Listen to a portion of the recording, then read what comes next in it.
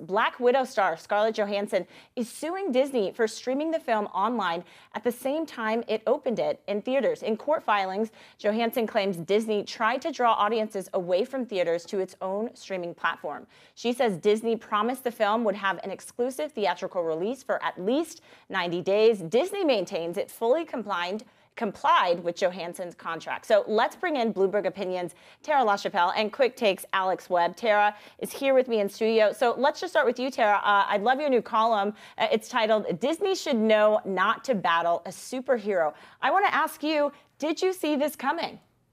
I think so because, you know, last winter when WarnerMedia decided they were going to put all of the Warner Brothers films on HBO Max, starting with Wonder Woman 1984, Gal Gadot, uh, Patty Jenkins, the director in that film, they had some reportedly tense negotiations with Warner Brothers about what that would mean for them because a lot of times the stars in these films are promised uh, a certain amount of pay based on how well the movies do in movie theaters.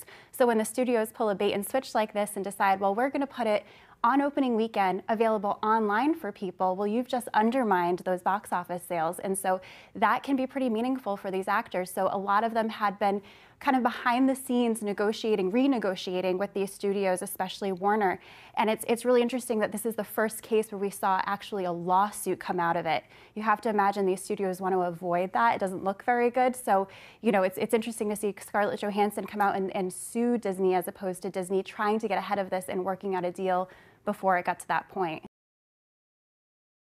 Hey, thanks for watching. For more stories like this, be sure to stream Bloomberg Quicktake 24 7 for free at any of the places down below. Get live coverage, interviews, documentaries, deep dives, and so much more on the stories that you care most about. And don't forget to hit the follow or subscribe button on Twitter, YouTube, Instagram, and Facebook.